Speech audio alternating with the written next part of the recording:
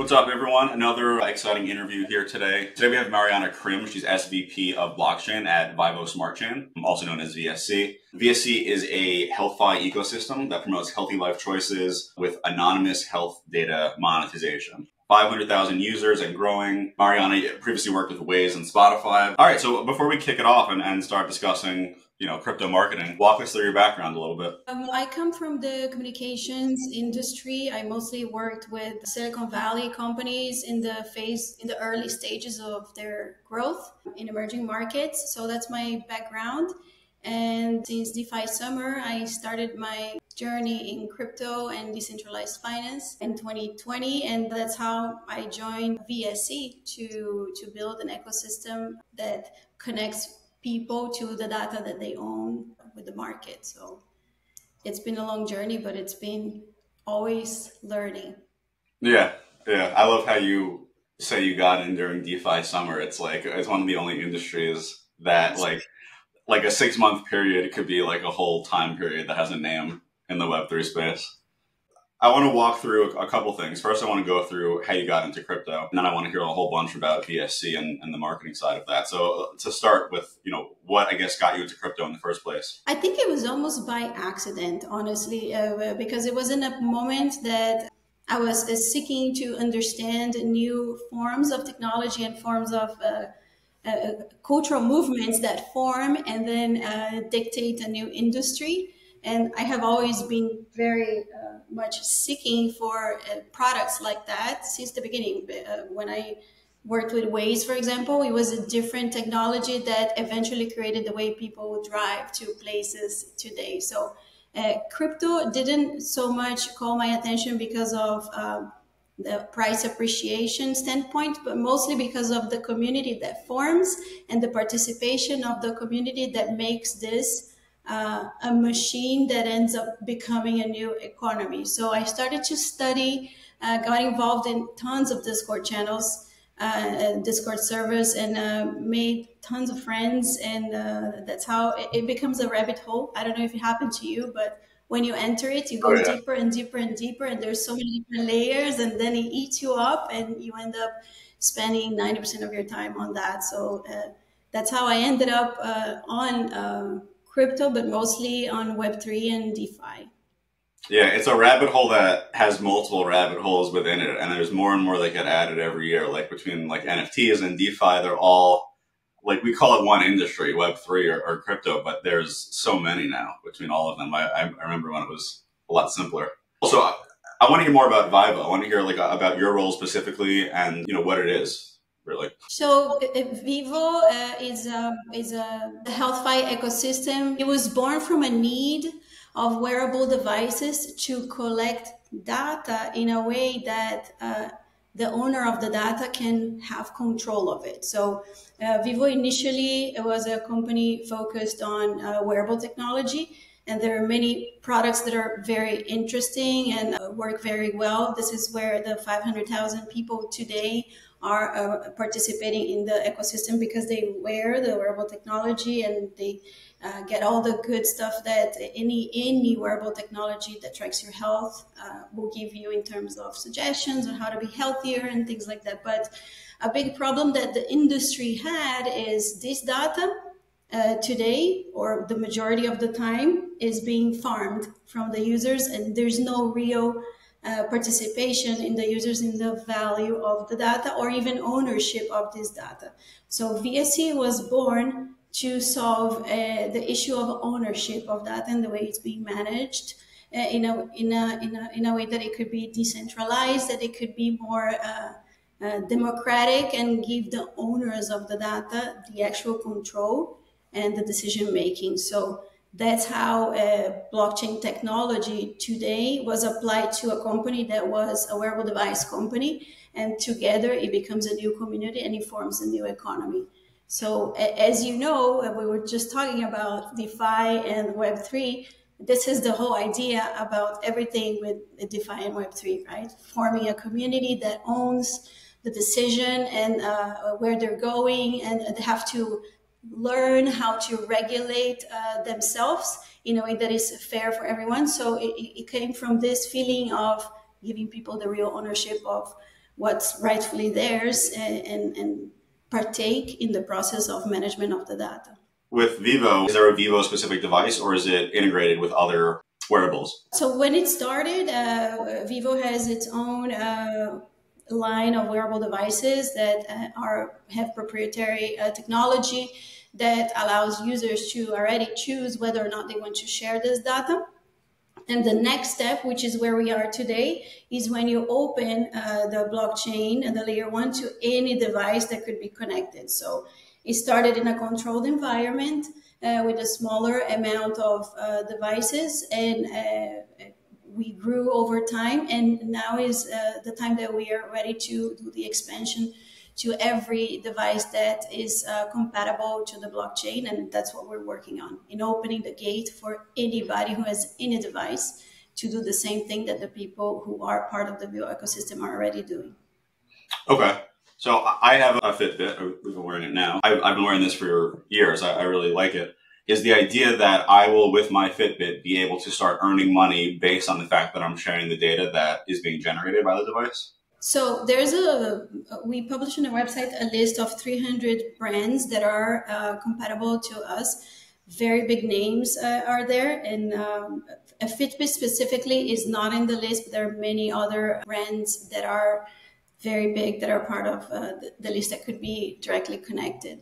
So uh, yes, that is the, the the plan. That anybody who is wearing any device, they don't have to purchase a specific device. For that, through a data NFT, they can connect their device and start managing their data ownership and uh, uh, receive rewards for sharing the data. And what are the rewards? Like in form of what? Is it a, a token? Is it cash? What does that look like? So VSC is the native coin of the ecosystem. It's the coin that's used to pay for gas fees. It's the coin that's used to uh, uh, to purchase the, the data NFT. And it's also the coin that's used to provide rewards to the users. It's the, the native uh, utility token. And then um, today it's a, it's, a, it's a coin that's already listed so that people can cash out at any time. Can you give me an idea of like, like how much are people earning right now? Or in the past? It depends on how much they wear the device, and uh, there are different there are different levels of NFTs that will allow you to collect more or less data depending on the frequency that it's measured. But um, what I think it's important here is that this is not just about rewarding people for the data that they share. It's about shielding the data from their personal information that will never be part of any. Uh, package that any data buyer can purchase in the future. Because I think the main problem today we're trying to solve is uh, the, the wearable data uh, information today is being sold by um, uh, brokers, and the personal data of the people is part of the package. So if you think of it, in the future, you could have, for example, a mortgage denied because you have a heart condition, right?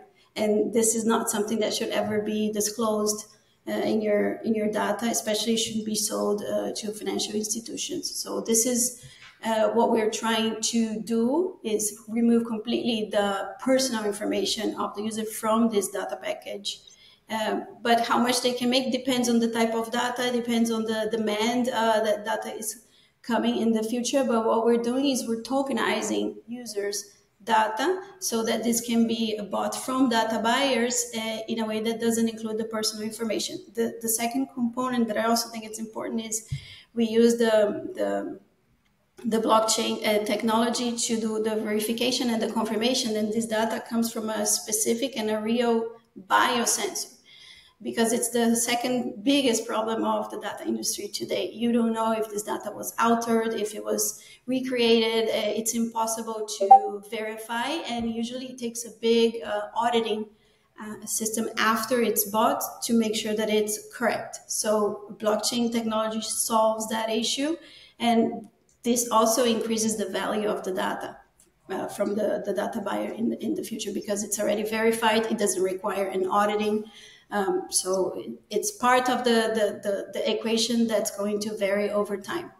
Uh, today, it depends. It depends on the type of NFT and the amount of data. If you wear the watch 100% of the time uh, and it's collecting all of the time, you, you can uh, get more, but the amount you get is a specific amount per data block that's created in the blockchain. I see. So the data is still being sold, but it's being sold in a more personally, you know, data safe way and, and, and conscious way, and more of a consenting opt-in type format. Is that right? Always needs to be opted in. I see. Yeah. Otherwise, it, it wouldn't. So when the user uh, uh, for example, connects the data NFT and starts mining with their data, that's uh, when this data is being collected and they receive rewards for the data that's being generated. This data is forming a, a, a data bank, and uh, our next one of the next steps in the future is we're going to uh, make this available for data buyers, and they would also use uh, VSC for that and that's when they're going to start acquiring the data. So today we're in the moment that we're still forming the database. I want to talk a little bit more about like your role specifically at Vyvo. What does your day to day look like? What are the like main initiatives that you work towards? mostly about growing the community and marketing efforts go to market. So we have been working a lot in building a new website that has entry points for the different type of stakeholders that interact with us. So we have a specific area for staking so defining uh, the staking uh, offer and what are the requirements. And then we have a specific area for data buyers a specific area for data uh, owners. So defining all these different policies and narratives and entry points this is mostly what i do on a day-to-day basis and pr and marketing efforts anything related to increasing the community i'm also uh, on discord 24-7 and uh, on telegram uh, one of the moderators so it's it's the facing with the community and the the, the content that we create. It's quite a lot. Sounds like. How big is your team? It's not just me, right? We have a spectacular team of uh, professionals that are uh, that, that I'm very lucky to work with, and uh, they're they're making big moves and, uh, on, on an everyday basis. We also have uh, teams in Asia. Uh, Asia is where the majority of our users are today. So we, we have teams in different countries and uh, speaking different languages to expand the community. Because at the end of the day, the way we're going to expand depends on where there's traction, right? We don't try to grow a specific area beforehand. We see where there's traction, and that's when we invest in growing and building content and making it bigger as the traction happens. This is something that I learned very much on Waze, for example, right? You don't try to build a community. When it gets traction, then you give support to it and then it grows by itself. So that's how we have been rolling. Yeah, that was once you said that, you know, the the traction is in the Asian market, I was curious if that was a like concerted effort or if that was just something that developed organically and then you kind of put some fuel on it but it sounds like it was the latter. Why do you think Asia has been a source of or an area of success for you? It really is very country based, right? It, it depends a lot on the country, but uh, uh, people in Asia are very much uh, welcoming to health technology. They love their gadgets and they love to track uh, everything, and they're very they're very early adopters of new technologies uh, when it comes to their health. So I think it was a very easy path for us to grow naturally in an environment where this is something that's a daily concern um, for, for, for their culture. So uh, countries like Japan, for example, we have huge community. Taiwan, huge community. So these are natural places where it was uh, easy to grow because it's yeah. part of their daily culture. It, yeah, it's honestly not so very surprising to me at all that that's the area that you're having success because in the in the time that we've been running Coinbound, we've seen obviously a ton of of different Web three type you know uh, initiatives, whether it's HealthFi or Play to Earn or things like that. And both like the HealthFi space, anything you're monetizing your data or activity, the Play to Earn sector, all of which uh, we see way lower cost per acquisition in the Asian markets, just a little bit faster organic growth. It's an interesting market for, for companies that are in that space. Um, on the topic of the many rabbit holes of crypto and Web3, HealthFi is one of them that is, you know, maybe two years old at this point. What is kind of going on in that space? Did it see as much of a decline as, like, say, the NFT market over the past two years? What is kind of the vibe in the health HealthFi space? It's very much starting. We, we don't see decline at all because uh, this is the phase where it's uh, incubated and starting to grow. So I'm not saying that it cannot outstand uh, a bear market. It's just that it's not there yet. We're so early stage with health HealthFi, and uh, the the the preoccupation with health is already part of people's day to day. So I only see opportunity to grow from where we are today. If you think of the users of wearable devices that track health, this is a huge uh, size of a possible audience, right? Your attainable audience is 1.1 uh, trillion devices. I mean, it's a huge audience that you could potentially accomplish, regardless of them being interested in monetizing their data or not. Maybe they're interested in protecting it, or maybe they're interested in uh, creating a new economy that protects the privacy. So everybody wants to protect their privacy when it comes to health data, and to me, this is a segment that's only going to grow. It's still very small in comparison to where it wants to go, right? Why do you think, and honestly, I'm going to ask you definitely to speculate here because it's not even specific to the HealthFi space, but we've seen, especially in the Web3 space, this thought process of it's time for people to start making money off of their data and be compensated for the data that they share and the value that, you know, essentially they create for either advertisers or just technology companies. Why do you think it hasn't happened yet in the health space? Why is there not why is Fitbit not offered a, a, solution to monetize the data they share? I don't know that I would speculate specifically on, on Fitbit. Obviously, Fitbit is owned by a big tech company who uh, uh, part of their revenue is directly related to data. I, I, think users don't mind sharing their data as long as they can take part on the value of it.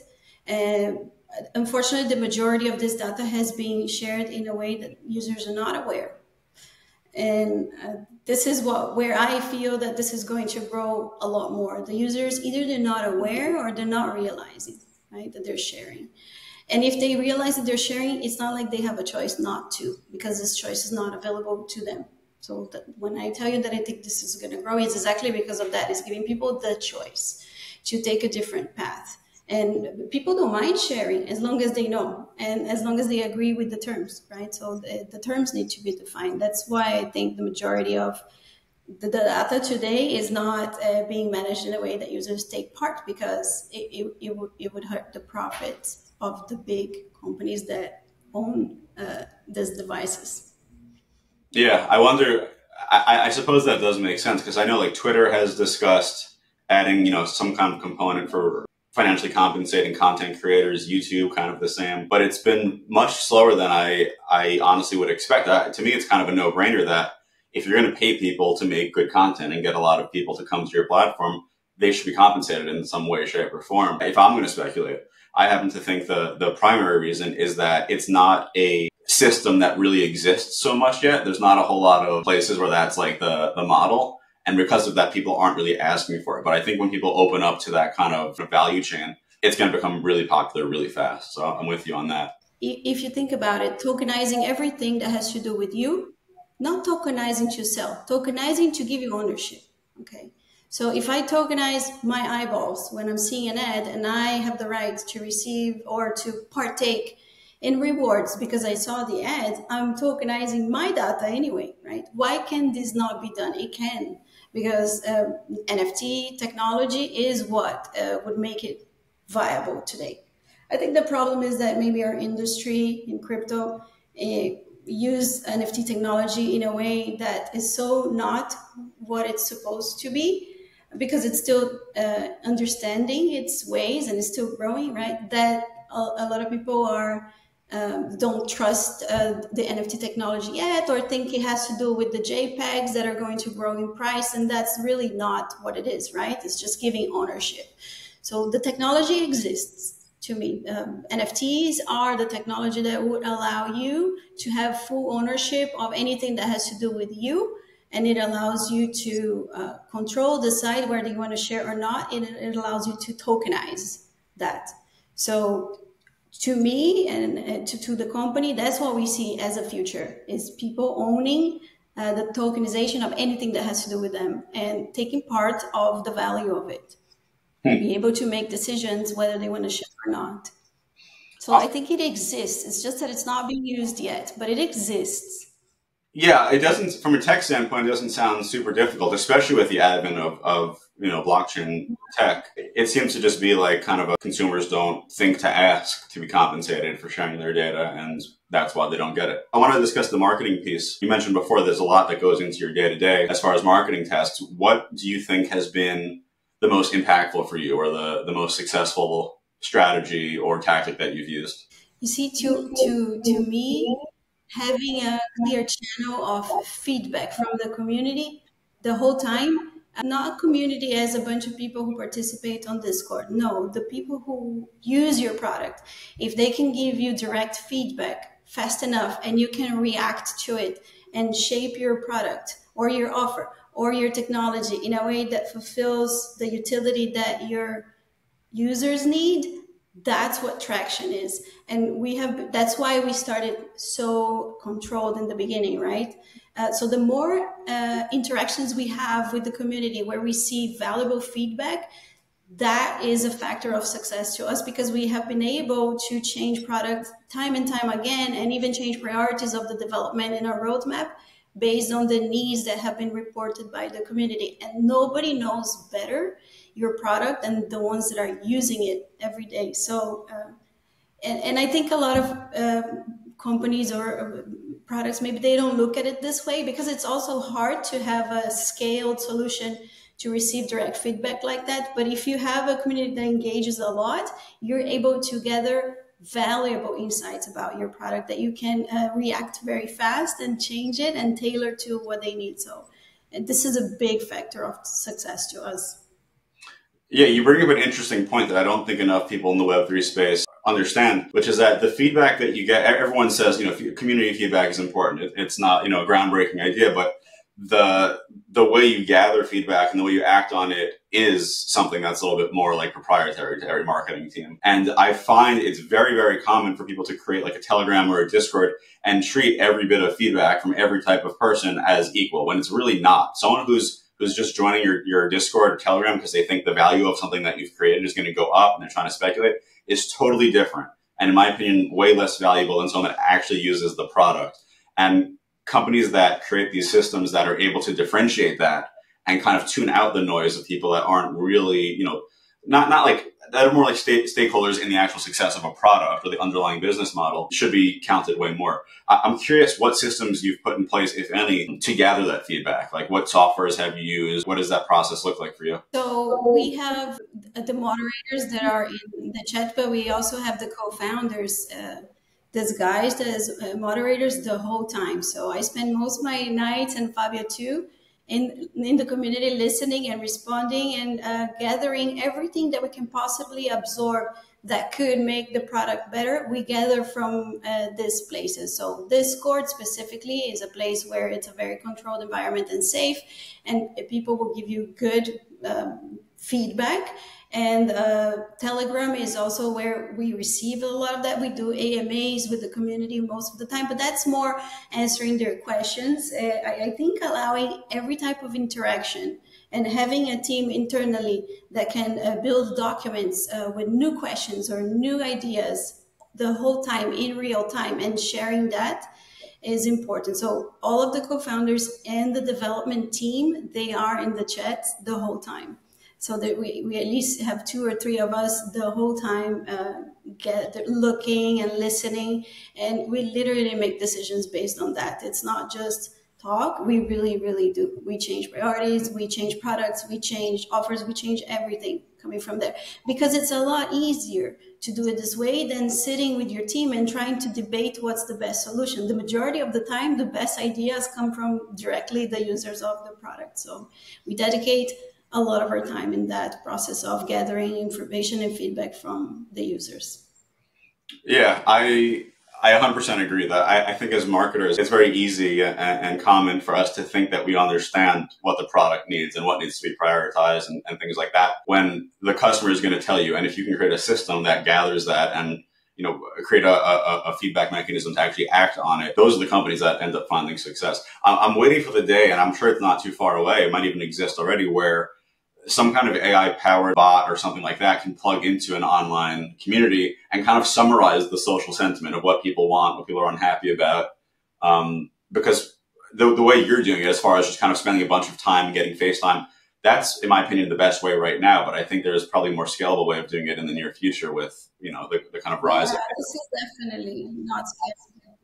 But yeah. having a team trained to pick up ideas really quickly and share really quickly with the decision makers, we can uh, almost in real time define uh, if this is implementable or not. And many times we have follow up questions, and then we're able to use moderators to do follow up questions uh, on the community and uh, debate on ideas. And the majority of it come from comes from this process. I would love to use AI. If you ever hear of yeah. anything that could work, that would be great. So far, we're mostly using our community uh, managers and and we're there too. In lieu of a robust technology solution existing, it's a lot of just kind of FaceTime with people I've found and just kind of not using your gut, but but it kind of is at the end of the day. When there's no, not a software that can help you kind of like process all this information and, and do something actionable with it, it really just comes down to spending a bunch of time talking to people and training it so that your gut is like an educated one. We use our support team a lot. So we have a, a big support team in different languages because being able to hear the right people in different languages is also very important. So we have internal mechanisms with our support team to receive uh, weekly reports of everything that they heard and they received that could potentially be good ideas to make the product better. Uh, so our, our, our, support team is today uh, one of the biggest uh, uh, pulses, uh, people who gather the pulse with the market, right? So they are able to tell us a lot that you alone don't have any access to. So we use our support team, the community moderators, and we're also there and we answer the majority of the impacts that we receive, whether it's email or uh, something from the website. We we listen to that a lot because uh, we really, really, really take a lot of value and insights from what they bring. It's it's impressive that a technology company would sometimes listen to the research instead of listening to the clients because they solve your problems the majority of the time. It's it's crazy how when you put the pieces together, you really find solutions. Yeah, one of the things that I feel like a lot of, especially like engineering driven or code driven engineers that, that lead companies, it's very, very common. I'd say it's like, like 75% of them will go ahead and spend like a year building a product and they think that they know what needs to be built and all this stuff. Where in my mind, I'm like, build the damn thing, launch it as as shitty as it has to be, but make sure that you have a mechanism in place to get as much feedback as possible. Because what you think people want is by most odds totally incorrect are not going to result in a you know a, a, profitable business so it's true yeah it's i think also if you have a community that's forgiving and will receive the product uh, in the basic stage and if they know that they are able to pinpoint things and make it better we are lucky enough that our community is like that. So the whole time they're bombing us with, with ideas and they know that when we go first, it's beta. And then everything else that happens is a result of their interactions. And we also make sure to let them know uh, all of the time when a good idea comes, hey, we implemented this. Thank you for giving uh, that suggestion because that only fuels more and more activity in, in the community to bring more ideas because they see it's actionable right? So yeah. I think that's important too. I don't know if this is specifically marketing, but I see it as it is uh, because it's a way for you to connect with the existing uh, user base or clients today.